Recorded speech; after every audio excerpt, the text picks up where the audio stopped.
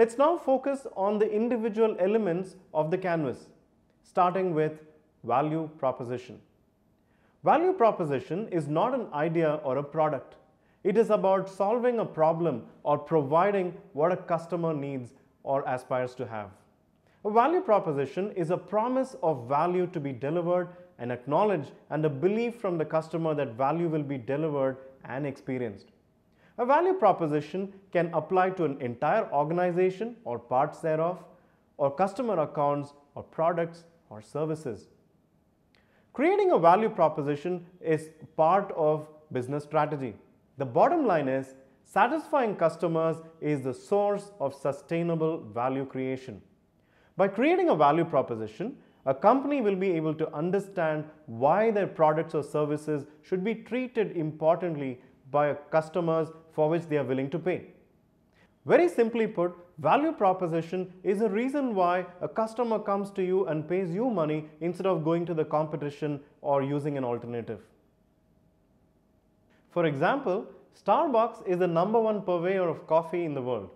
They educate and enhance the best possible customer experience. The goal of Starbucks is to become the third place in our daily lives that is, home, office, and Starbucks.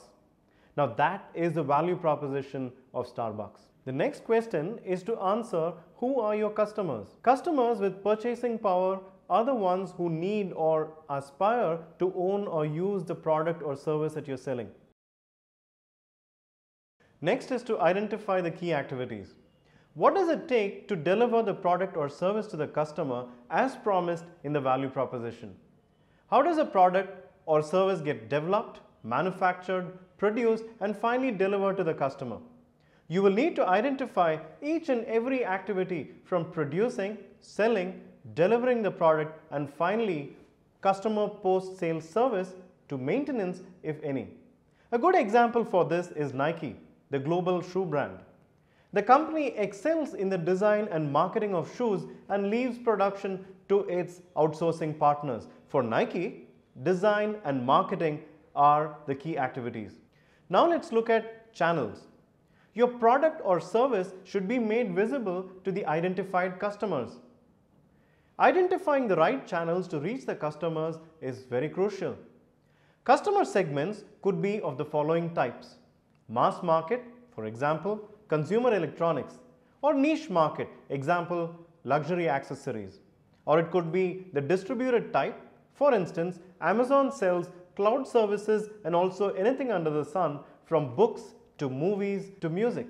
It could be of the segmented type, for example, retail banks segment their customers into high net worth individuals or salaried employees. Or it could be of the multi-sided platform type for example, Google has advertisers on the one hand and its users on the other. Nespresso, the coffee brand, a subsidiary of Nestle, has a unique channel strategy. It is an idea of exclusiveness and personal touch.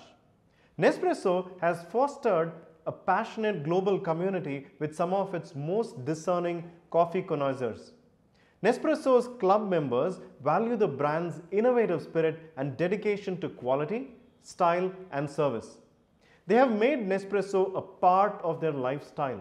Club members order their coffee capsules through an exclusive website. Now let's look at customer relationships. Customer relationship is all about attracting the right customers, retaining and growing with them. Accenture, the global consulting giant, has an exceptional focus on client relationships. Client centricity is in fact one of the core values of the company. Accenture employs account managers and client account leads who work closely with the clients to create custom solutions. Customer relationships can be high touch or low touch. High touch relationships are where individualized personal assistance is given to the customer. And in low touch relationships, customers make use of self-service or automated service. Now let's look at revenue streams. The revenue streams building block represents the cash a company generates from each customer segment. Asset sale, usage fee, licensing, subscription fees and leasing are the most common streams of revenues earned by companies.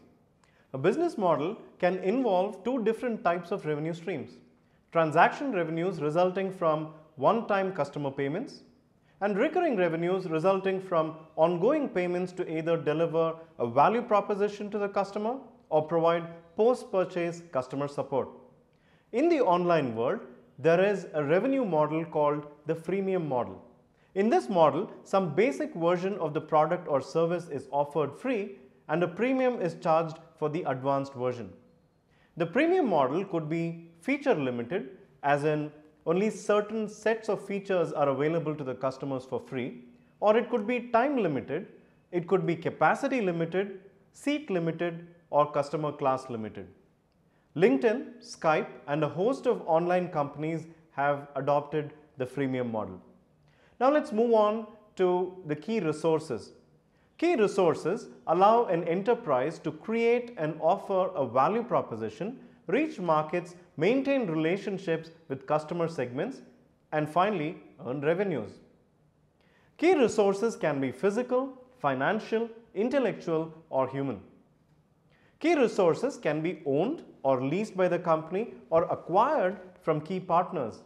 Even brand image can be a great key resource. For the Virgin Group, for instance, their brand image helps the company diversify into different industries. So the brand is a key resource for them. Moving on to key partners.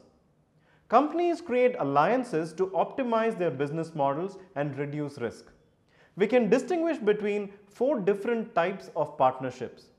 Strategic alliances between non-competitors, co-opetition, a strategic partnership between competitors, or joint ventures to create and develop new businesses, or a buyer and supplier relationship to assure reliable supplies. A good example for co-opetition is Samsung and Apple in the smartphone industry. Samsung sells flash drives and screens to Apple. Moving on to cost structure. The cost structure describes all costs incurred to operate a business model. Cost structures have the following key characteristics. Fixed costs are the costs that remain the same irrespective of the volume of goods or services produced. Variable costs are costs that vary proportionately with the volume of goods or services produced. Economies of scale are cost advantages that a company enjoys as the volume of output increases. Economies of scope are cost advantages that a company enjoys as the scope of operations increase. Walmart, as you know, focuses relentlessly on cost structures to gain competitive advantage. The cost it saves from its operations is passed on as a benefit to the customer and this becomes the cornerstone of the everyday low price promise of Walmart.